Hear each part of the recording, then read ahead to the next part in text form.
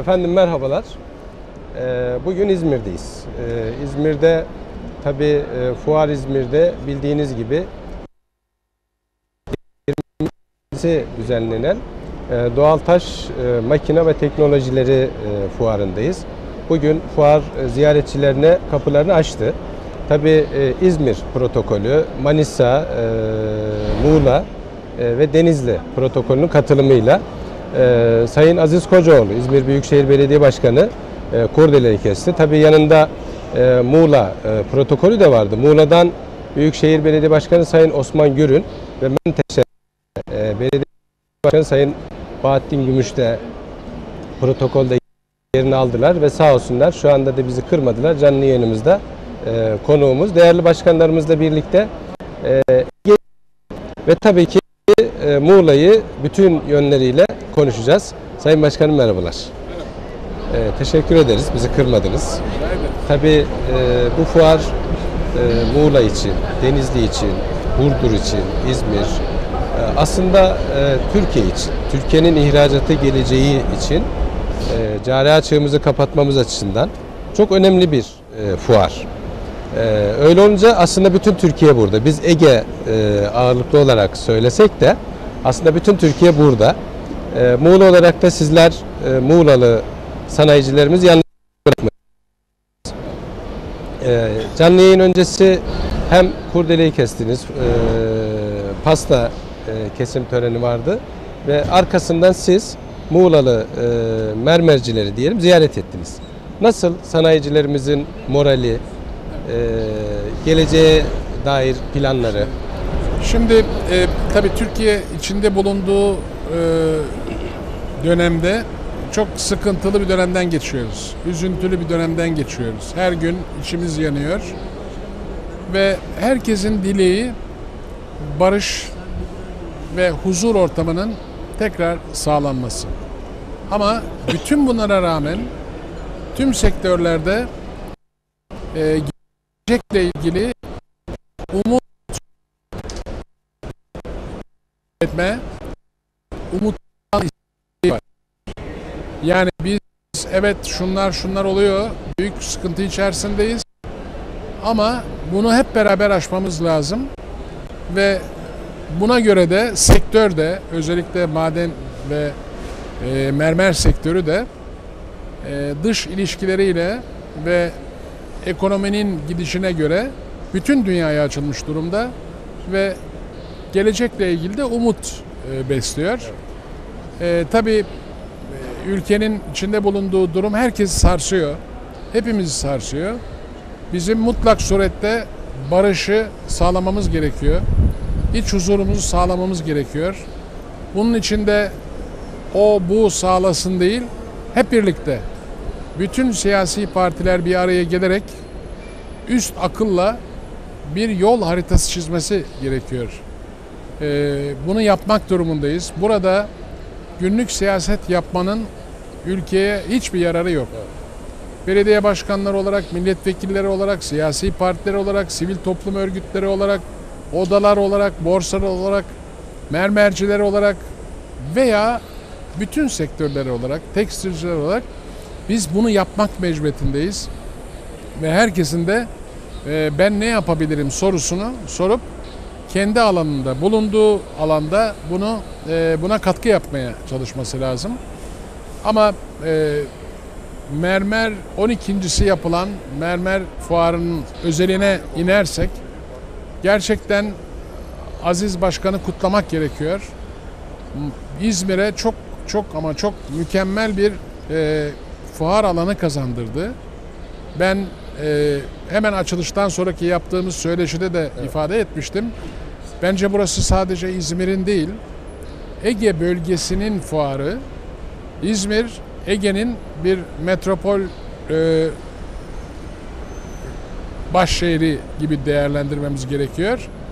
Ve dolayısıyla da Ege'nin ortak değerlerini ifade edildiği, değerlendirildiği bir merkez ve bütün Ege'nin fuar alanı olarak e, biz burayı değerlendiriyoruz. E, kalkınma açısından baktığımızda e, Ege'nin kendi içinde sinerjisini sağlaması, güçlü ve zayıf olduğumuz noktaların tespit edilerek Ege'deki tüm illerin ortak noktaları bulunarak birlikte hareket etmek durumundayız. Ee, biz İstanbul'un bir alternatifi, İstanbul'u büyük bir ihracat, ithalat ve üretim merkezi olarak değerlendirdiğimizde İstanbul'un ikinci bir alternatifi hatta üçüncü, dördüncü bölgeleri oluşması lazım. E, bütün yumurtaları bir sepete koymamamız gerekiyor. Bunun için de en uygun e, bölge Ege bölgesi. Evet. Sayın Başkanım size geleceğim. Evet. Ee, Sayın Başkanıma da bir e, buradan. Muğla'ya Menteşe'ye. Evet. Ee, evet. Menteşe tabii Muğla'nın tek merkez ilçesi. Merkez ilçesi. Ee, en büyük ilçe mi bilmiyorum ama merkez ilçe. Ee, çünkü sizin ilçeleriniz oldukça büyük. Nüfus olarak Bodrum, e, Marmaris, Fethiye. Ee, teşekkür ederiz. Siz de hoş geldiniz Hoş bulduk. programımıza. Sağ olun. Ben teşekkür ederim. Ee, buradan gerek Muğla'ya gerek Ege'ye, İzmirlere e, neler söylemek istersiniz? Tabii, Fuarı tabii. siz de açılışa katıldınız. Neler düşünüyorsunuz başkanım? Buyurun. Evet. Yani Menteşe Büyükşehir Yasası ile beraber eski Muğla'nın ismi aslında merkez Evet. ilçe Büyükşehir'in merkezi konumunda. Ee, Bugün fuar açılışına geldik. Öncelikle ben de Aziz Başkan'a çok teşekkür ediyorum. Gerçekten İzmir'e, Türkiye'ye yakışan bir fuar alanı olmuş. İlk defa görme fırsatı buldum ve mermer fuarıyla beraber olduk. Mermercilik de e, Muğla'mızda, öncelikle Türkiye genelinde ikinci konumda gelişiyor. Büyükşehir'le beraber Bayıl beldemiz, Menteşe beldemize katılan bir mahallemiz konumunda ve Muğla'da mermercinin en çok geliştiği bir beldemiz. Bu fuarlarla beraber gerek mermercilikteki istihdamın sağlanması yönünden olsun, gerekse katma değeriyle, ihracatıyla mermerciliğin desteklenmesi gerektiğini düşünmekteyim. Bildiğiniz gibi turizmde yaşadığımız sıkıntılarla beraber bu turizmdeki açığın bu mermercilikle özellikle Muğla'da kapanabileceğini düşünüyoruz. Bu tür fuarların da yeni pazarlar yaratarak mermerciliğin daha üst noktaya getirebileceğini düşünmekteyim. Bugün buraya geldik. Büyükşehir Belediye ve Başkanımla beraber. Muğla'da bu mermercilik sektöründe çalışan 20'den fazla standı gezdik. Onların morallerinin iyi olduğunu gördük. Evet. Özellikle de e, Çinliler başta olmak üzere e, yabancının da büyük ilgisi olduğunu bugün burada gördük efendim. Evet, teşekkür ederim. Yine geleceğim Sayın Tabii. Başkanım size. Tabii Sayın Başkanım aslında biz hep cari açık, işte ihracat, ekonomimizin kurtuluşu e, konularını hep tartışıyoruz, konuşuyoruz. Aslında doğal taş denilince çok önemli bir rezerv Türkiye açısından ve e, yoğun olarak da Ege'de bu imkan var. Yeteri kadar sizce yüksek teknoloji anlamında e, bu doğal taşı yer altından çıkarıp işleme, e, pazarlara sunma anlamında Türkiye yeteri kadar gelmesi olması gereken noktaya geldi mi acaba sizce? Şimdi çok önemli bahsettiğiniz hadise. Biraz önce sektörün ilgili arkadaşlarıyla görüşüyorduk. Ee, bir mermerci arkadaşımız dedi ki biz kütük mermer sattığımızda daha karlı oluyoruz dedi. Ee, işlediğimizde o kadar karlı olamıyoruz dedi. Neden dedim yani katma değerini yükselterek onu satmanın özellikle Çin'e Ama biz kısa vadeli bir düşünce değil mi? E, Efendim? Aslında kısa vadede para Hayır, kazanmak güzel ama, e, gerekçeleri var. Evet. O haklı bir gerekçeleri var. Mesela dedi Çin'e biz dedi daha çok kütük mermer satıyoruz ve Çin'de de çok büyük müşterimiz var dedi. Şimdi bahsettiği hadise şu. Dünyada bu üretimi yapan diğer ülkelerin mermer sektörüne vermiş olduğu teşvikler var. Enerjiyle ilgili teşvikler var. Vergi indirimiyle ilgili, vergi iadesiyle ilgili e, teşvikler var. Şimdi bir şeyi eğer geliştirmek istiyorsak global dünyada diğer ülkelerin o sektöre verdiği katkıyı rekabet edebilmek için en azından onu vermek gerekiyor. evet, tabii. Haklı olarak. Ben Verona'ya da katılmıştım daha önceki yıllarda. Verona'da olağanüstü e, bir mermer işleme ile ilgili e, teknoloji ve sanayi var. Ve onlar 1 liralık şeyi 250 liraya 500 liraya satabiliyorlar. Ve bunun içinde hem yeni teknoloji ve know-how, ARGE çalışması yapılıyor. Ve dolayısıyla sizin atıyorum bir gemi kütük mermerden elde ettiğiniz geliri e, bir kamyon eğer teşbihte hata olmaz bir kamyon o nitelikte işlenmiş bir mermerden temin edebiliyorlar. Onun için e, olaya günlük değil genel olarak dünya konjonktürü içerisinde bakmalı. Dünya konjonktürü içerisinde mermercilik sektörünün kütük olarak değil, işlenmiş olarak katma değeri daha yüksek değerlerle satabilmesi için acaba diğer ülkelerin yaptığı şeyler nedir? Biz ne yapabiliriz? Buna bakmamız gerekiyor. Ee, ben teknolojinin çok hızlı bir şekilde ilerleyebileceğini düşünüyorum. Ama teşvikin olması lazım. Ee, mermer açısından e, rezerv olarak baktığımızda Türkiye çok uzun yıllar yani kısa dönem için bir e, şey değil, değerimiz değil. O bakımdan buna çok ciddi olarak bakıp mutlak surette bunu değerlendirmemiz gerekiyor. Ama tüm mermerci arkadaşları bütün dünya pazarlarını dolaşan, yeni pazarlar araştıran ve e, statik değil çok dinamik olduklarını gördük ve modellerini de çok gördük. O bakımdan çok sevindirici. Evet.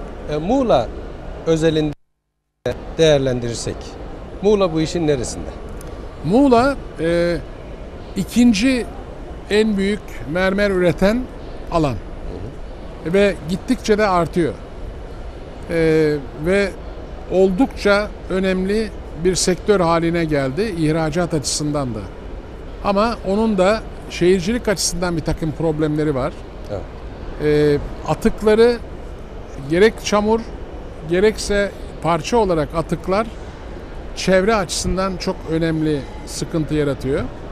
Bir de mermerin olur olmaz her yerde e, maden ruhsatıyla verilmesi bizim için sıkıntılı. Yani mesela yerele bunu vermeleri lazım. Bakanlıktan veriliyor. Ve biz de çevre açısından da dikkat ederek bu sektörün maliyetinin, çevre maliyetinin en aza indirilerek bu sektörün gelişmesini sağlamaya çalışmamız lazım. Ya büyük şehir olarak, Evet. büyük şehirler olarak Evet. bu işe hazırız diyorsunuz ve Ankara'dan yönetilmesi yerine Kesinlikle bakın bu görevin büyük- verilmesi büyük- lazım. Plan plan eee, diyor ki bakanlık ben istediğim yerde istediğim zaman istediğim şekilde plan yapabilirim diyor. E ama büyük şehir var. Siz plan yapma yetkisini tamamen e, yerele devredin ama onun denetimini çok daha sıkı bir şekilde yapın. artı alanı bilme tanıma açısından da aslında problemler var Sayın Başkanım. Yani Muğla'yı sizden daha Ankara daha iyi bilemez. Kesinlikle. Bakın mermerle ilgili ruhsat veriliyor. Biz bilmiyoruz. Bize sorulmuyor. Verilen yerler biz sorarsak, araştırırsak ancak belki bulabiliyoruz. Onun dışında biz ilimizde nereye mermer ruhsatı verildi, nereye e, diğer e, merkezi hükümetin yetkisi altında konular verildi bunu bilemiyoruz. Yerelleşiyorsak ki demokrasi için Evet. mutlak yerelleşmemiz la- lazım. Yer artık merkezi hükümetin bu tür yetkilerini ben bilirim şeklinde yukarıda tutmamalı. Mesela ben Datça'nın büyükşehir olarak ve Datça Belediyesi olarak planını yapma imkanına sahip değilim. Özel çevre bölgesi e, yapmıyor, yetiştiremiyor ama ben planını büyükşehir olarak yapamıyorum. Yani bakanlık yapıyor. Şimdi böyle bir şey olmaz. Evet. Ee, demokrasi için ve kalkınmak için demokrasi için yerele mutlak surette yetki devre gerekli ve kaynak e, sağlanması gerekli ve yereldeki bu devredilen haklarla da demokrasi çok daha fazla güçlenecektir. Eğer biz gerçekten demokrasinin tüm kurum ve kurallarıyla e, tamamen sisteme uygun çalışmasını istiyor ve gelişmesini istiyorsak yerelleşmeliyiz. Merkezi hükümet denetleme yetkisini kullanmalı. Evet. Biz korkulmamalı. Bizim zaten denetlememiz halk tarafından çok, çok daha sıkı bir şekilde yapılıyor. Ama Ankara'da bir karar verildiği zaman bakanlık karar verdi deniyor. Kim olduğu bellidir, ne olduğu belli Evet. değil. Soyut bir e, kavram. Muğla'da herhangi bir şey olduğu zaman işte Menteşe'de olduğu zaman Sayın Başkanım Bahattin Başkan yaptı deniyor. Büyükşehir'i ilgilendiren konu olduğu zaman Osman Başkan yaptı deniyor. Dolayısıyla bizim halkın denetimi bizde çok daha e, güzel ve doğru bir şekilde yapılıyor. E, bu sistemimizi değiştirmemiz lazım. Yani bunu bunun başka çaresi yok. Yerele güvenmeliyiz, yerele yetki ve kaynak aktarmalıyız. Aslında şu da var e, Sayın Başkan. Büyükşehir yasasındaki amaç buydu aslında. Yola çıkış hikayesi e, hedeflerden birisi buydu. Belki son zamanlardaki maalesef Güneydoğu'daki olumsuz gelişmeler, Güneydoğu'daki büyük şehirlerdeki istismarlar, e, kötü niyetler öyle diyelim. Büyükşehir yasasını sanki biraz frenlediği gibi. Çünkü şu aralar e, revizyon konuşuluyor. Hatta yapılamıyor çünkü başka şeyler var. Gündem sürekli değiştiği için. Büyükşehir yani yerelin güçlendirilmesi, yetkinin sizlere verilip sizin kanalınızla yönetilmesi noktasında bir adım atıldı. Ama şu anda sanki Şimdi şöyle yani çok doğru bir yerden aldınız ama bence e, esas gerekçe Güneydoğu ve oradaki olaylar değil. Benim 17. senem, 4. dönemim. evet Ben 17 yıldır bunu görüyorum ve bize genel olarak yukarıdaki üst bürokrasi tarafından söylenen şey şu. Ya Muğla her yer keşke Muğla gibi, İzmir gibi olsa evet o zaman bütün yetkileri devrederiz. Ama yani. Güneydoğu ve Doğu bu bu bence bu bence bürokrasinin elindeki gücü bırakmama ile ilgili kullandığı bir enstrüman. Doğru değil. Bakın biraz şimdi böyle orada bahane mi var? Tabii tabii yani. Orada terör var. Peki 17 senedir ben bunu dinliyorum. Kendim yani göreve geldiğim günden beri bir dinliyorum. Evet. Ne oldu böyle yapmakla? Acaba Güneydoğu'da gerçekten e, huzur sağlandı mı? Barış sağlandı mı? Anarşi durdu mu? Terör durdu mu? Evet. Durmadı. Demek ki bunu yapmakla o önlenmiyor.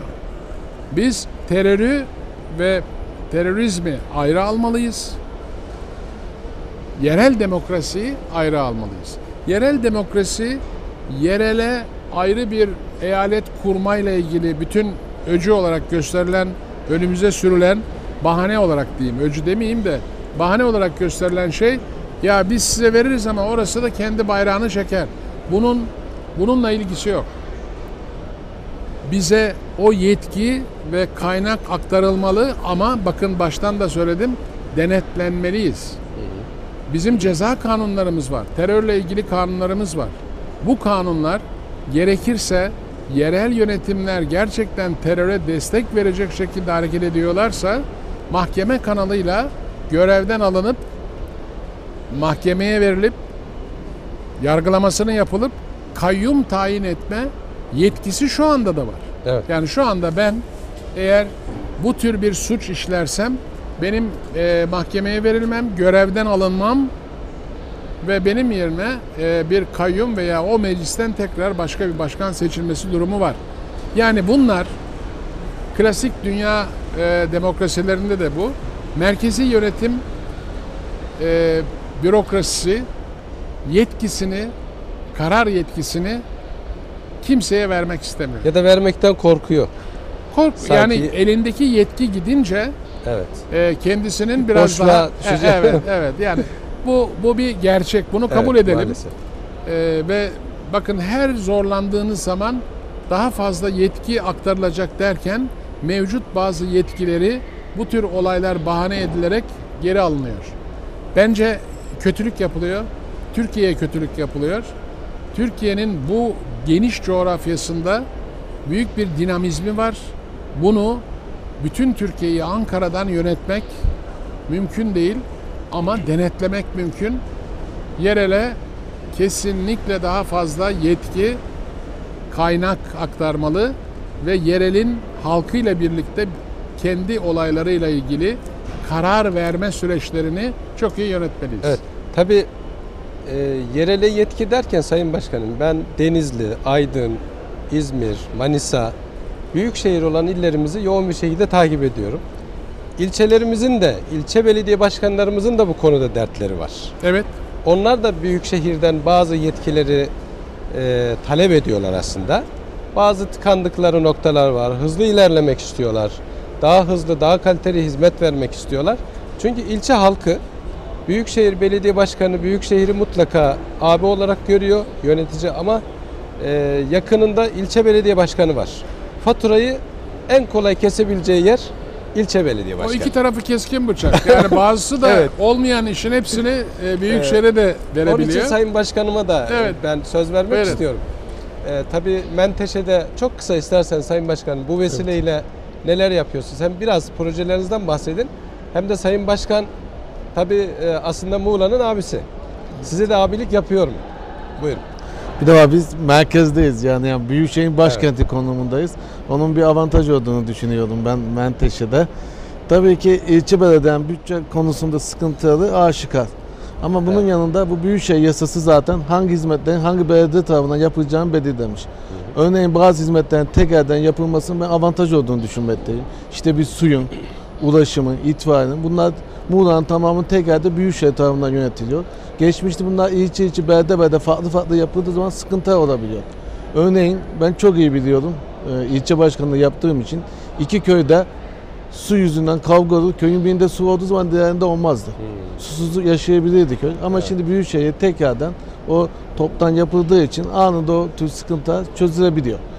Bu noktada vatandaş da zaten hizmetin gelmesine bakıyor. Bunu Büyükşehir mi getirmiş, Menteşe mi getirmiş onun için önemli. Önemli vatandaş hizmetin gelip gelmemesine bakıyor. Bu noktada ben merkezde olmanın belki avantajıyla, belki yeni belediye olmanın avantajıyla Büyükşehir'in bizim açımızdan Menteşe açısından çok büyük faydalarını, yararlarını bugüne kadar gördüm. İki yıl oldu e, belediye kurulduğundan bu yana. İki yıl öncesi ilk kurulduğumuz zamana göre bugün baktığım zaman ben Büyükşehir Belediyesi ile beraber vatandaşın hizmeti aldığını ve bunun da farkını vardığını görüyorum. Bu görmek de bize mutlu ediyor. Tabii ki hizmetler noktasına gelince ana hizmetler Büyükşehir'de olduğu için biz ilçe belediyesi genelde sosyal projeye yöneliyoruz. Bu noktada gerek merkezde belediyemizde güzel çalışmalarımız oluyor. Biz üniversite kenti konumundayız. Nüfusumuzun üçte birini üniversite, Muğla Sıkı Koşma Üniversitesi oluşturuyoruz. Üniversite yönelik çalışmalarımız oluyor. Ee, kültür kenti konumundayız. Bizde bir eski Muğla, yeni Muğla var. Ee, Muğla korunmuş. Sağ olsun başkanım yani imar rantına kurban gitmemiş Muğla. Yavaş yavaş gelişiyor ama çok güzel gelişiyor. Eski ve ve Adasta bölgesi geçmişte sağlıklaştırılmış ve restorasyon yapılmış. Biz de bu notları birkaç tane yine eski Muğla evi dediğimiz ve Rum evi de denen Rum ustalar tarafından yapılmış e, eski evlerimiz mevcut. Bunlardan birkaç tanesini kamulaştırdık. Bunları gerek kültür evi olarak, gerekse sosyal projelerde, gerekse işte butik otel gibi kullanılıyor. E, bunun dışında e, SODEM tarafından ödediğimiz biz çocuk bilim parkımız var. Bunu hayata geçirdik yine Muğla'nın içinde. Tüm okullar bilimsel çalışmalarını orada yapabiliyorlar. E, el ele buti faaliyete geçirdik. Söylemem gerekirse. Yine Evde sağlık bakımı Büyükşehir tarafından yapılıyor. Biz evde yaşlı insanlarımızın maddi durumu bakmaksızın ev temizliği ve kişisel bakımlarını sağlıyoruz. Çocuklar bizim için çok önemli. İşte çocuk bilim parkından ödül aldık. Bunun yanında merkeze bağlı geçmişte kör olan şu anda mahalle olan 48'den mahallemiz var. Bu 48 kırsal mahallemizde çocuklarımızın da şehirdeki çocuklar da aynı imkanlara sahip olması noktasında sık sık bu çocuklarımızı şehir merkezine getirerek gerek sinemada olsun, gerek büyükşehirin etkinliklerinde olsun, gerek menteşelerinde Muğla'ya getiriyoruz. Köy kadınlarını sağlık taramasından geçiriyoruz. Sağlık İl Müdürü yaptığımız araştırma noktası çalışmayla beraber. Yani Muğla'yı, Menteşe'yi işte 48 daha önceki köyü olan şimdi mahallesiyle beraber kapanan 4 merkez beldesiyle ve Muğla merkezi beraber bir bütün halinde Büyükşehir'in de katkıları da e, iki yıl, için, iki yıl içinde iyi noktaya getirdiğimizi düşünmekteyiz. Sonuçta halkın memnuniyeti önemli bizim Evet. için. Performansımızı sık sık halkı soruyoruz. İyi gittiğimizi düşünmekteyim. Halkın memnuniyeti de var. Evet. Bu şekilde devam ediyoruz. Ee, Sayın Başkanım, tabii iki yıl oldu. Muğla'da e, ilçeler, ve Muğla'nın mahalleleri, eski köyleri e, sizden hizmet bekliyor. Bu anlamda hangi aşamadayız? Nasıl büyükşehir olarak bütün Muğla'ya e, homojen bir şekilde ulaşabildik mi? Şimdi İzmir büyük şehirdi. Evet. Bütün şehir oldu. Yani onun da ilave olduğu yerler oldu. Ee, Aydın, Muğla yeni büyük şehir oldu ve yeniden biz bütün organizasyonunu yeni kurmak durumunda kaldık. Yani 30 Mart oldu. 31 Mart'ta e, 31 Mart vakası diyordum ben seçimde ona. Evet. O sen büyük şehir oldun dediler.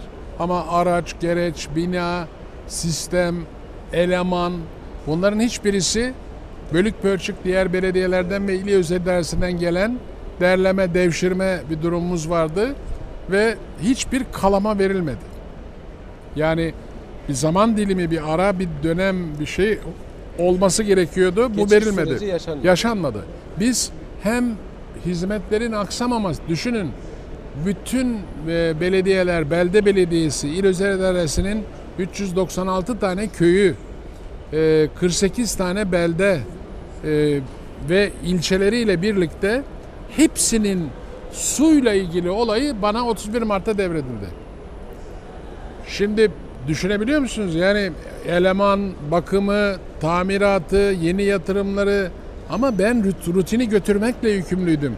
Rutini götürmeye devam ederken tam kervan yolda düzülür lafı burada geçerliydi. Yani yeni büyük şehir olan yerler için söylüyorum. Biz bir buçuk sene e, de ya iki sene olarak öngörmüştüm açıkçası. Biz bir sene önce de başladık yani çalışmaya nedir ne değildir diye. Bir buçuk sene içerisinde bu kuruluşun e, maksimize ettik ve bütün sistemimizi kurduk. Mesela Muğla 13.200 küsür metrekare e, kilometre kare, e, İstanbul 5000 kilometre kare, Kocaeli 2000 kilometre kare. İkisinin toplamı 7000, Muğla 13300 e, kilometre kare. Yani çok büyük bir alan var. Bir uçtan bir uca biz 4,5 saatte gidiyoruz. Yani e, 13 tane ilçe var, onların köyleri var, dağ köyleri var, orman köyleri var. Çok geniş bir alan. 6 ayrı bölgeye koyduk. E, ulaşımla ilgili sistemimizi kurduk. Yeni araçlarımızı aldık. Dönüşümü sağlıyoruz şu anda çok büyük oranda. Kooperatifler dönüştü. Suyla ilgili çok önemli mesafe aldık. Bakın Muğla'da, Muğla gibi bir yerde bunu çoğu turizmle ilgili olanlar bunu fark edemez. 37 köyümüzde hiç su yoktu. 37 köy. Yani bu çağda Muğla'da 37 köyün suyu yoktu. Biz şu anda 21'ini e, 20'sini yaptık ve e, dolayısıyla yok 25'ini yaptık 12 tane kaldı son bir tanesini de son sondajda çıkardık 11 İmkan köyümüz kaldı. Hepsini aslında Şimdi aynı hepsini yapacağız onu bitireceğiz yani. Evet.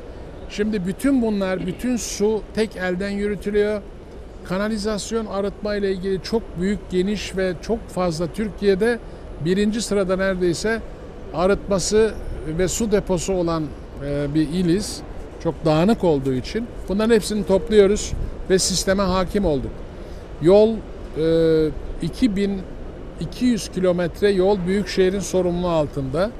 Bu geçen sene 600 kilometre, 650 kilometre, bu sene 800 kilometre yol e, ihalesi yaptık.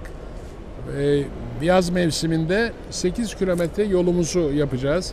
Şehirlerin girişini yapacağız.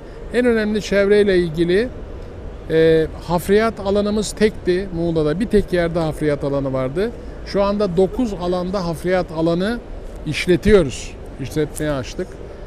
Ee, Çöp depone alanı bizim için çok önemli ve entegre tesis olarak yani metan gazından elektrik üretme, ayrıştırma tesisi olmak üzere e, Fethiye'de vardı, Marmaris'te vardı, Ortaca'da vardı çöp depone alanı çağdaş.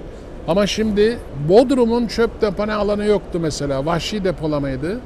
Onun ihalesini yaptık. Turizm Muğla'nın yani ihalesini yaptık. Turizm beldemiz ama Milas bekliyoruz, yapıyoruz ve hiçbir yerde alan olarak çöpün toplandığı alan olarak modern çöp depone alanı olmayan yer bırakmıyoruz. Bunlar çok önemli şeyler. Yani bunlar iki sene içerisinde müsaadeleri alındı, finansmanı temin edildi ve yapılıyor. Ee, bu yaz çok sıkıntılı yerlerimiz var. Var dediğimiz arıtmaların e, ne kadar var olup olmadığını tespit ettik. Yani çok sıkıntılı arıtma ile ilgili, kanalizasyonla ilgili e, Bodrum'dan, Ölüdeniz'den ve diğer bütün ilçelerimizde kanalizasyon ve arıtma ile ilgili büyük yatırımlarımız var. Bütün e, garajları, e, otogarları şehirler arası yolun üstüne alıyoruz. Şehir içinden çıkarıyoruz. Mesela Bodrum'daki e, garaj şehrin içinde ve trafiği çok kötü etkiliyor. Onu dışarı alıyoruz. Muğla garajını dışarıya alıyoruz. E, Fethiye garajını 2017'de e, dışarıya alacağız. Onun yapışletle devredildiği için. Yani bütün garajlar otomatik olarak dışarı alınıyor. E, bize intikal eden itfaiyede 42 alanda ve çok acil olan köylerin hepsine birer tanker dağıtmak suretiyle ilk müdahaleyi oradaki eğittiğimiz arkadaşlar yapmak suretiyle bütün alanda itfaiyede belli bir sürede e, yangına yetişecek şekilde organize ettik. E, bunlara baktığımızda iki sene içerisinde gerçekten bunlara nasıl bu kadar zamanda böyle oldu diye dediğimiz zaman da oluyor. Ben 3 yılımız var önümüzde. 3 yıl içerisinde bütün ana sorunların hepsinin çözüldüğü ve çözülmekte olduğu veya ve e, gerçekten plan mesela çok önemli. E, 1 bölü 25 binlik plan çok önemli, Nazım plan. Biz bunu 6 ay, 7 aydır çalışıyoruz. Daha önce başladık ama meclis bazında söylüyorum. Ve iddia ediyorum Türkiye'nin çok varsa çok nadir yerinde vardır. Oy birliğiyle Nazım İmar Planını meclisten geçirdik. Çünkü önce çok istişare ettik. Hepsinin fikirlerini aldık, önerilerini aldık, eleştirilerini aldık ve 1 bölü 25 binlik plan oy birliğiyle geçti. Bu çok önemli bir şey. 5 binlikler ve binlikler yapılacak. Ee, ama ben e, tekrar söylüyorum. Plan yetkisi bakanlık ben istediğim yerde, istediğim emsalde, istediğim zaman plan yaparım. Bu bu bu bu gerçekten yani bizlere hakaret. Yerel yönetim ben beni halk seçiyor. Ben yüzde 49 ile geldim. E benden bekliyor. Diyor ki bakanlık sen bilmezsin ben bilirim bu işi diyor. Bizim kıyılarımız çok büyük tehlikede. Eğer böyle bir planlamayla kıyılar pazarlanırsa bu Muğla'yı biz kaybederiz. Büyük bir yat turizmi var bizde.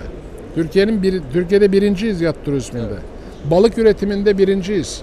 Bal üretiminde çam balında dünyada birinciyiz. Yani böyle özelliklerimiz var işte. Madencilikte ikinci durumdayız mermerde. Şimdi siz kıyıları talan ederseniz olur olmaz yerde, olur olmaz kişilere, kurumlara koca koca inşaatlar yaptırırsanız bütün bunlar ortadan kalkar. Bir master planıyla turizmi geleceğe öyle taşımamız lazım ve sektörlerle, çevreyle ve diğer alanla. Muğla turizm açısından çok önemli bir yer gibi görünüyor. Ama şu anda biz bütün olumsuzluklara rağmen tarımdan çok daha fazla gelir elde ediyoruz. Büyükşehir olarak yasadan kaynaklanan yetkimizi kullanarak tarım alanında e, çok önemli e, işler yapıyoruz. Yapmaya da devam edeceğiz. Örneğin gelir gelmez geçen yıllarda başlattığımız alım garantili çiçek üretimi yaptırıyoruz kooperatiflere. Bu çok önemli. Köyün kadınları, kooperatif üyesi kadınlar orada çalışıyor, üretiyor. Önce belediyeler ve daha sonra da bütün otellere bunlarla temas ederek otellerin çiçeklerini Muğla'da bize ısmarlıyorlar. Bana 500 tane, 1000 tane, 5000 tane lazım çiçek diye hangi çiçekten istiyorsa biz onun üretimini yapıp onlara zamanında teslim ediyoruz. Ağaç, çalı, e, hayvancılıkla ilgili ve sütün değerlendirilmesiyle ilgili süt entegre tesisleri kurmak suretiyle süt ve sütü mamul hale getirip katma değeri yüksek e, bir şekilde çalışmasını temin edeceğiz. Onunla ilgili yine kooperatiflerle işbirliği yapıyoruz. Yani şu anda e, hepsini ben e, e, şey gibi olmasın ama şunu şunu söyleyebilirim. Yani büyük şehir olarak Muğla'da tarımla da ilgileniyoruz. Turizm alanlarıyla da ilgileniyoruz. Altyapı ve ana görev alanlarımızı da en iyi şekilde yapmaya çalışıyoruz. İki yıl dolu dolu geçti. Biraz koşarak geçti. Nefes nefese geçti. Şimdi artık bu yıl 2016'da ne yapacağımız, 17'de ne yapacağımız, 18'de ne yapacağımız belli ve bütün bunları bir planlama içinde yapıyoruz.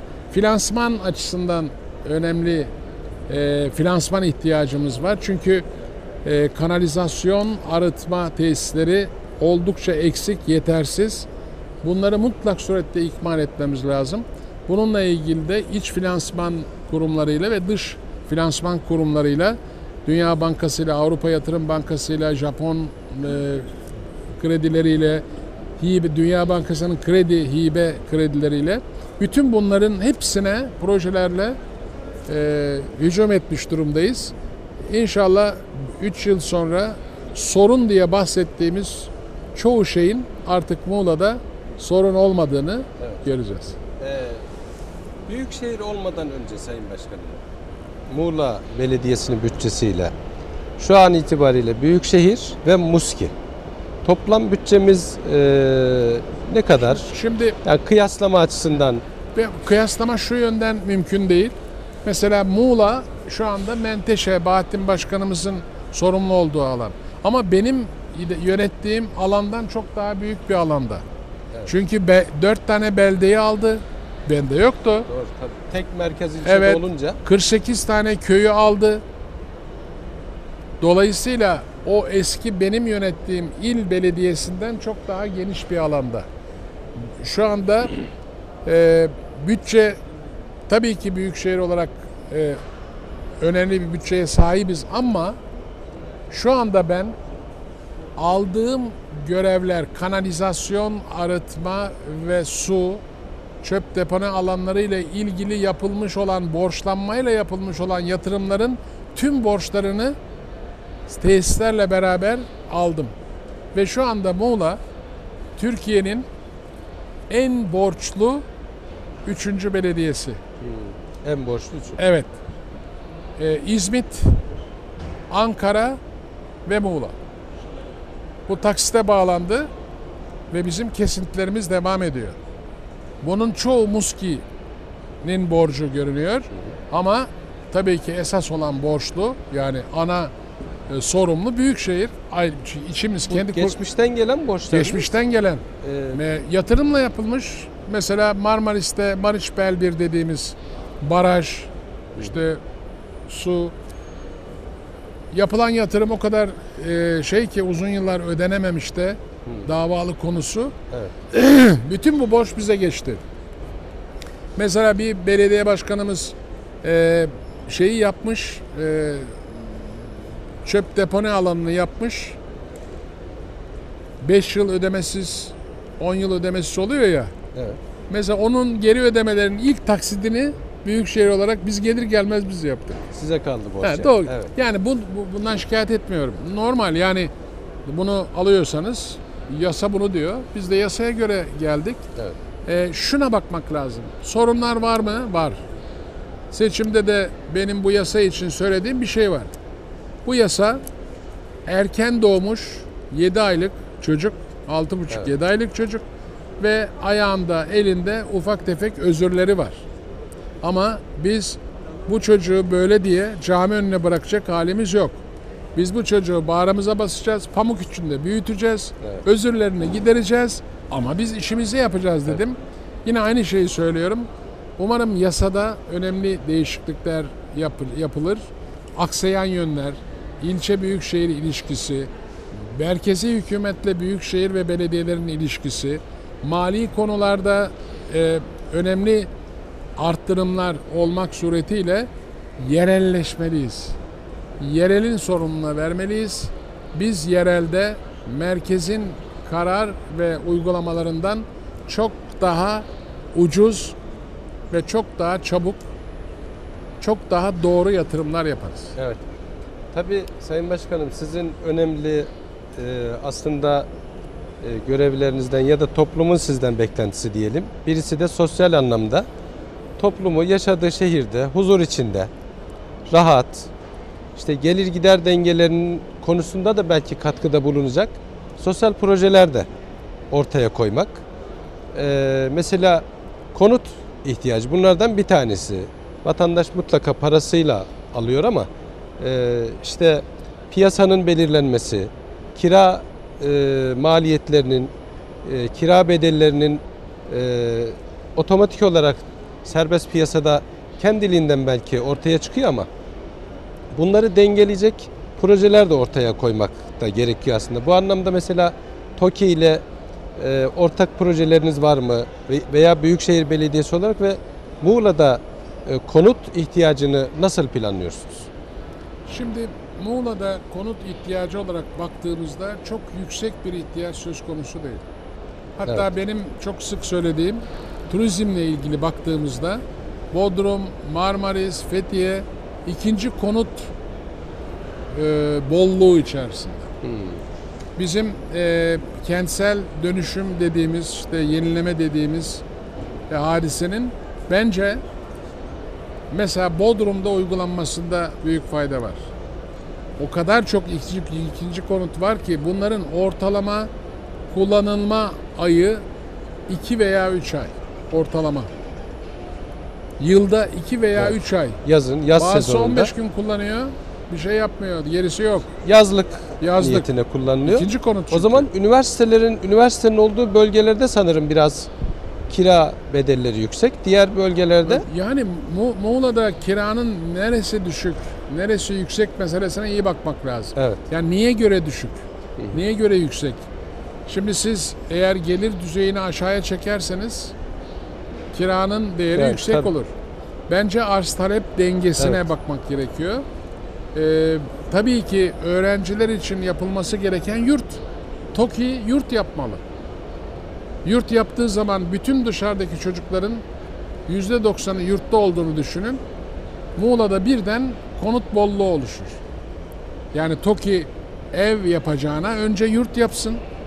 Bütün üniversite öğrencilerinin ihtiyacını karşılayacak kadar öncelikle yurt yapması lazım. Yani konuta da faydası olacak. Şu anda pansiyon diye e, kullanılmakta olan evlerin çoğu yurt olduğu zaman uygun, modern, bağımsız bölümleri olan yurtlar yapıldığı zaman onlar boşalacak. Yani konut yerine maalesef yapılan konutların çoğu standart olarak çok e, da şey değil. Konut başka bir şey. Konut kişinin gerçekten uzun süre yaşayacağı e, ve sürekli aile yuvasını kuracağı bazı özellikleri ve bazı estetiği, bazı incelikleri ve biraz daha fazla dikkati gerektiren bir yer. Ama çocuk geliyor işte 6 ay 8 ay yurtta kalıyor. Yurtta evin içinde çoğu zaman yurtta oturmuyor. Gidiyor sabah akşam geliyor. Yurt başka bir şey. Konsept ev başka bir şey. Bence e, TOKİ'nin bütün Türkiye'de her ilde bir üniversite var çünkü. İhtiyaçlar belli. İnanın iki yıl içerisinde yurt ihtiyacının tümünü karşılayabilir. Ya çok hızlı bir yurt üretimi. Bence yurt üretimi yapması lazım. Ee, bunu yapması lazım. Ee, bizde planlama çok önemli Ee, ve e, projekte edilmiş Muğla ve ilçelerinin nüfusuna göre işte 1 bölü 25 binlik Evet. e, ona göre hazırlandı. Yapılan 1 bölü 100 binlik vardı. Aydın, Muğla, Denizli. Buna uygun e, bir 25 binlik. Şimdi 25 binliğe uygun da 5 binlik ve binlik yapılacak. Ve bizim Muğla'nın en az 25 yıllık bir projeksiyonla nerede konut yapılabilir, nerede konut dışı kentsel alan olur, neresi yeşil alan, neresi korunma alanı, bütün bunların hepsi belirlenmiş olacak. Bence çok çok önemli bir e, konu.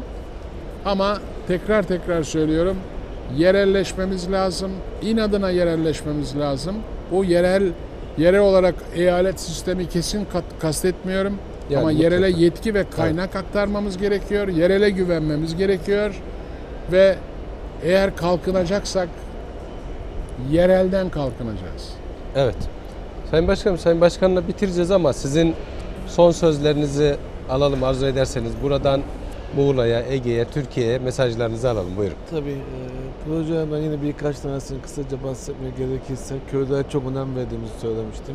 Örneğin köylerde biz vatandaşın ev yapabilmesi için yere çıkan için tip projelerini belediyemiz tarafından 7 farklı hazırladık. Ücretsiz olarak veriyoruz. Yine köylerde çok amaçlı düğün salonlar yapmaya başladık. Köylünün düğününü, işte cenazesi olduğu zaman mevlidin okutabileceği ve pazar yeri olarak kullanabilecek alanlar yapıyoruz. Yine köylüde köylü vatandaşın ürettiği ürünü satabilmesi için Muğla merkezli Menteşe'de onlara ücretsiz köylü pazarı sağlıyoruz. Bunun yanında da başkanımın dediği gibi e, merkezimiz üniversite kenti, nüfusun üçte biri üniversite oluşturuyor. Bu sene mesela 10 bin tane yeni öğrenci geldi ve yeni bir yurt yapılmadığı için de devlet tarafından o bir anda bir sıkışıklık yaşandı. Öğrencilerimiz de mağdur oluyor Evet, aslında. Yani yazık mağdur. günah. Aileler güvenip Aynen öyle. aslında e, aileler çocuklarını size emanet ediyor. Aslında bir 200 nevi. bin kişinin yaşayabildiği Buna çözüm imar bulmak planları lazım. şu anda bizim Muğla merkezimizde mevcut. İşte az talep meselesi bazı dönemler bunlar yaşanabiliyor. Büyük şey olmasıyla beraber. Onun dışında aslında imar planları olarak ki 25 binin de onarlanmasından sonra e, nüfus olarak e, Muğla'nın şu andaki imar planları yeterli konumda. Ben son olarak şunu söyleyebilirim. Bugün geldik. Gerçekten fuara ilk defa geldim. Çok Evet. Tekrar İzmir Büyükşehir Belediye Başkanı'na da teşekkür ediyorum. Bugün burada Mermerci Fuarı'na geldik. Muğla'daki tüm standlarımızı gezdik. Onların moralde olduğunu görmek bizi memnun ediyor. Ülkemizin şu yaşadığı sıkıntı günlerde ticaret yapanların, ülkeye girdi sağlayanların da bugün burada olması, yeni pazarlar yaratması geleceğimiz açısından umut veriyor. Ben o noktada onlara teşekkür ediyorum. Size de bizi ağırladığınız için Evet. teşekkür ediyorum. Biz Tüm teşekkür Menteşe'ye de buradan selamlarımı gönderiyorum. Evet, çok sağ olun. Sayın Başkanım sizin aslında turizmle ilgili ben Evet. e, son e, sorumu sormak istiyorum. E, şimdi dünyada malum terör bütün dünyayı meşgul ediyor aslında. Böyle olunca yurt dışından gelen turist sayısında yüksek oranda bir düşüş var. Hatta iptaller son derece iptaller var maalesef. E, iç piyasada iç turizme yönelik Marmaris mesela bunun bir örneğini ortaya koydu. E, sizin de e, bu konuda bir mesaj vermenizi de e, Evet. istirham edeceğim. Teşekkür ederim. Yani e, yurt dışına gitmek yerine bu sene öyle bir şey yapalım Türkiye olarak aslında. Muğla'yı, Bodrum'u, İzmir'i, Antalya'yı sahiplenelim. Expo Antalya'da var bu sene. 23 Nisan'da açılıyor. E, yani e, yurt içinde bizim insanımızın yurt dışındaki tatillerini bu sene Ege ve Akdeniz sahiline yönlendirmeleri konusunda aslında. Evet. Bir mesaj verelim isterseniz. Çok doğru. Tabii mesajı e, verelim ama genel olarak baktığımızda Evet. şöyle bir şey. Turizm e, yaz ayında deniz, kum, güneş üzerinden de ağırlıkla yapılıyor. Antalya'da da, Evet. Muğla'da da. Bir kere bunun mutlak surette evrilmesi gerekiyor. Yani her şey dahil deniz, kum, güneş bence bu tür olaylarda hemen ve çok ağır bir şekilde etkilenecek bir sistem. Bizim bunu kültür turizmine, spor turizmine, doğa turizmine, yaşlı turizmine, sağlık turizmine, e, spor turizmine yani çok geniş olarak farklı alanlarda turizm yapılıp çok kısa olan e, turizm sezonunu 12 aya yağac- yayacak ve mesela kongre turizmiyle çeşitli e, aylarda çok rahatlıkla gelinip e, turizm yapılabilen, turizm hareketi oluşabilen bir hale getirmemiz lazım. İkincisi e, artık bu sistem şu anda e, turizm e, acentalarının esiri haline gelmiş durumda. Evet. Bütün onlar yönlendiriyor ve suistimal ediyorlar fiyatları düşürmek için. Bundan kurtulmamız gerekiyor. Her şey dahilden çok kolay değil biliyorum zorluklarını. Çıkmamız, oda kahvaltı ve diğer kısımları da kişi başı harcamayı arttıracak şekilde biraz daha üst gelir grubunun turistini biz hedef almalıyız. Evet. Ve bizim Muğla'da örneğin Denizli'de öyle. Muğla'da 110 tane antik kent var. Bunların 27 tanesinde daha kazı yeni var. Bunları muhakkak surette sunmalıyız. Bakın bir Stratonica Lagina dünyada başka yerde yok. Ama deniz, kum, güneş dünyanın her yerinde var. Eğer Lagina'yı bir değer olarak, bir ürün olarak, turizm ürünü olarak Strotonika'yı sunabiliyorsak gerekli alıcılarına terör falan e, burada çok az etkili olur. Evet. Gelirler. O değerlerimizi turizme sunmamız, turizmi çeşitlendirmemiz lazım. Yerli e, yerli e, yani hemşerilerimizin, vatandaşlarımızın e, bu sene dışarıya değil buraya ziyaret etmelerinin de neden olduğunu öğrenmemiz lazım. Biz dışarıya gidip gittiğimizde bir haftalık bir seyahate orada harcayacağımız para, o tur turlarla ilgili para yerelde eğer biz Marmaris Bodrum'da Fethiye'de geçirmek istesek onun çok üstünde bir rakamla oluyordu. Yani biz diyorduk ki biz yerli turist istemiyoruz, yabancı istiyoruz diyorduk. Ama aynı e, şey ailesiyle beraber çok rahatlıkla e, biriktirdiği parayı e, Fransa'da, İtalya'da, Romanya'da, İspanya'da geçirebiliyordu. Yani biz yerli turistimizi, kendi vatandaşlarımızı turizm bakış açısından elde tutmamız ve onlara uygun paketler yapmamız lazım. Bu sene hem Antalya hem Muğla bunu yapıyor. Tabii ki bence e, hemşerilerimiz de yani vatandaşlarımız da Karadeniz'den bize, bizden Karadeniz'e Evet. dışarıya değil e, içeride bu işi halletmemiz lazım. Ama uygun fiyatlarla. Evet. Şimdi artık bir ailesiyle rahatlıkla dışarıya yapacağı seyahatten daha ucuza Bodrum'da Marmaris'te e, bir bir haftalık bir turizm şey, hizmeti yapabilir. O bakımdan bütün e, Türkiye'yi Muğla'ya davet ediyoruz. Evet. E, Aslında e, Muğla, Ege o kadar zengin e, zenginliklere sahip bir bölgemiz ki Sayın Başkanım. Akşama kadar konuşabiliriz. Evet, evet. Ama sizin de zamanınız değerli. Siz Evet, Muğla'ya sağ dönüş olun, yapacaksınız. sağ olun. Burada e, Mermer Fuarı bugün açıldı ve biz Cuma'ya kadar buradayız. Evet. Değerli izleyicilerimize tabii buradaki gelişmeleri an beyan aktarmaya devam edeceğiz. Çok teşekkür ederim. Efendim Bizi ben teşekkür sağ olun. ederim. Ee, kurumunuza çok teşekkür ediyorum. Bizi e, hemşerilerimizle, bölgedeki hemşerilerimizle buluşturdunuz. Ben herkese güzellikler diliyorum. Hepimizin e, hangi düşüncede olursak olalım, nereli olursak olalım, kol kola girme, yürek yüreğe yürüme ihtiyacımız var. Ufak tefek farklılıklarımızı bir yana bırakarak büyük bir e, koca bir yürek olarak birbirimize güvenelim, kendimize güvenelim, ülkemize güvenelim ve e, korkmayalım. Terörün yaratmak istediği şey o. Korkmayalım ve umutsuz olmayalım.